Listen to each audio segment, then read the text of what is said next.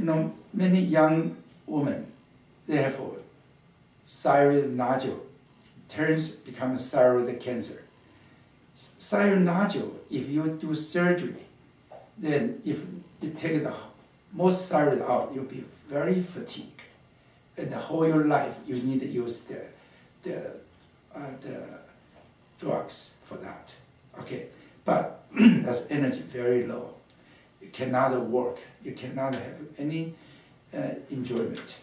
So I suggest you try use supplements and just start reviving Myomin first. If you can stop that, then at least you can make your E3 more than E1 plus E2, make them develop into the cancer. And uh, we have many people in 30s turn to the cancer. And uh, 31, 32, 35, the most the woman get the thyroid cancer. And if you use our suggested method, just recently, a patient, their thyroid immunoglobulin, the number from 3,500 down to 2,000, down to 1,000, now down to 98, should be around 40.